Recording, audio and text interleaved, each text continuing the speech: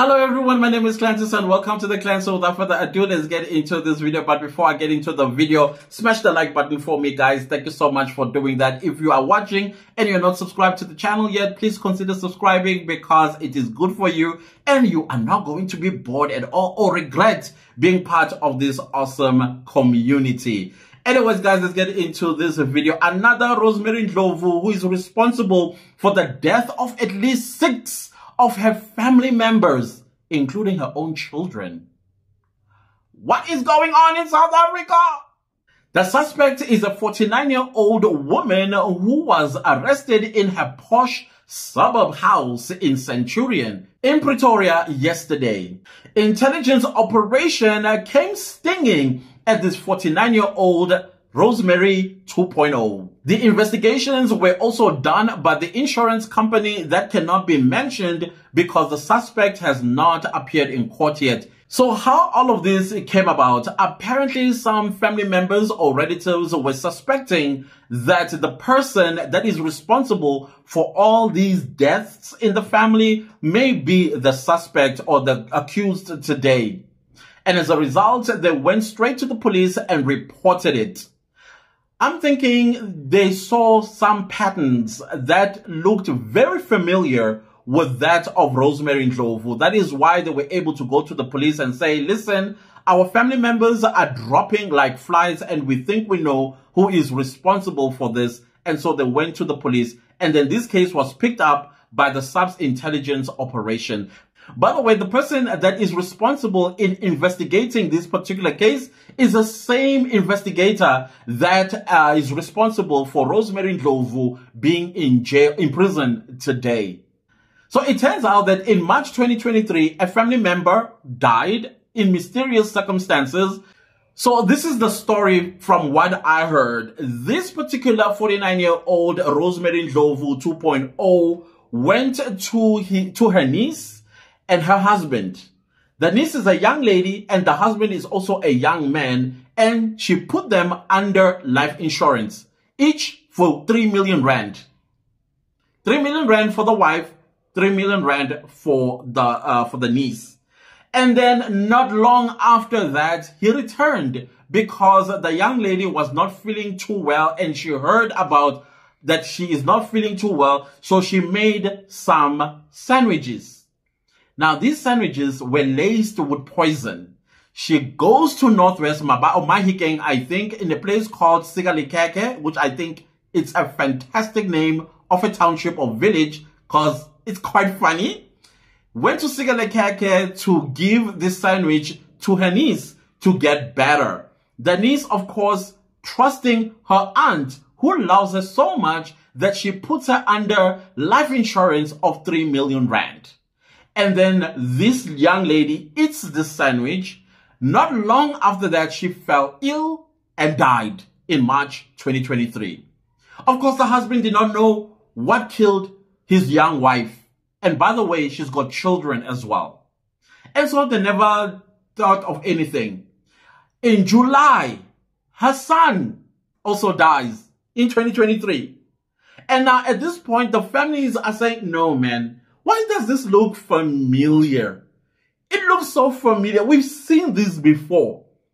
And these are the people who have life insurance on them because this particular lady went to them and said, I'm going to put you under life insurance and your life insurance is 2 million rand. Now, the people that went to lay this complaint at the police, they were also, they also have life insurance of 2 million rand. They went to the police and said, listen, we suspect this. And so the investigator that actually put Rosemary Ndlovu behind bars for life took up this matter together with the intelligence operation and they investigated. The first thing that they did, they called the husband of the deceased and said, listen, bro, give us permission to exhume your wife. These are the suspicions. So he has also had his own suspicion, the husband, but he thought, no, man, she would not do something like that, would she? So he gave the permission to the SAPS who exhumed her body and her body was taken to autopsy and guess what? They found poison in her system, meaning that she was indeed poisoned. And how do they know that it's the lady that poisoned her? Because she, that, that sandwich she ate was the only thing she ate, nothing else. So it's clear that that sandwich was laced with poison. And as a result of that, uh, she got arrested. She got arrested yesterday, the 16th of uh, November 2023 in Centurion. And she got a payout of 3 million rand. Yet this husband, since March, has been waiting for the insurance company to pay out this 3 million rand of his wife. But that 3 million rand was taken a long time ago by the suspect. How can you be cruel like that? I want to know. So these are the following people that she has killed thus far and got insurance payout. And apparently it's tons of money. The first one is the husband who, in fact, let's start it this way. In 2005, a daughter died mysteriously. Okay? In 2015, two daughters died. Right? In 2016, her husband died. And then in July, no, and then in March, her niece dies. And then in July this year, her son dies. This is when the family was like, no, no, no, no. Mm -mm. Something ain't right and it smells Rosemary and Ndlovu because she took insurance, life insurance on her family members. That is how they were able to put two and two together.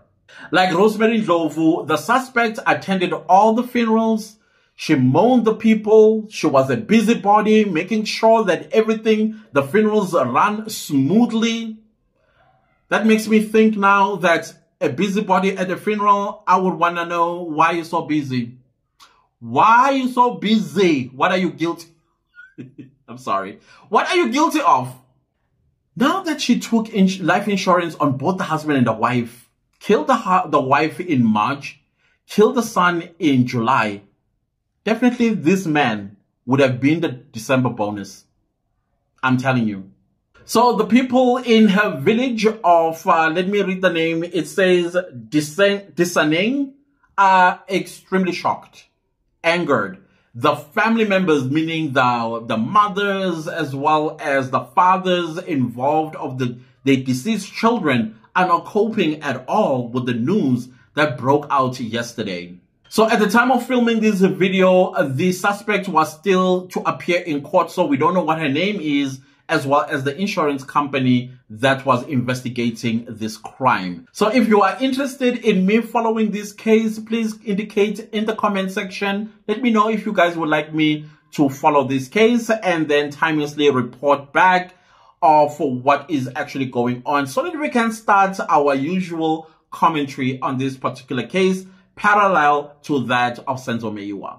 And the reason why I feel like I want to do this case is because it has some educational purpose to it. That if you have a family member that has come to you recently or in the past and said, do you want to be under my life insurance? Let, let, let's teach each other what we need to do in a case like that. I'm not saying do not accept a relative when they want to put you under life insurance.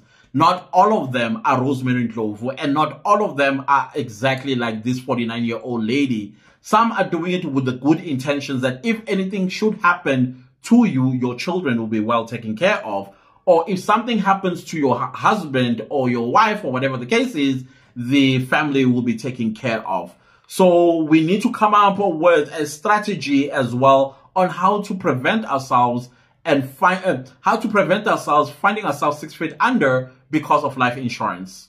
So that is why I feel like following this case is important. The Rosemary Ndlovu one, I did not follow it, which I kind of like think, uh, okay, now we have a second chance. Let's do this one so that we can be cautious as well as well educated in the subject of life insurance. It's like channel 171 all over again.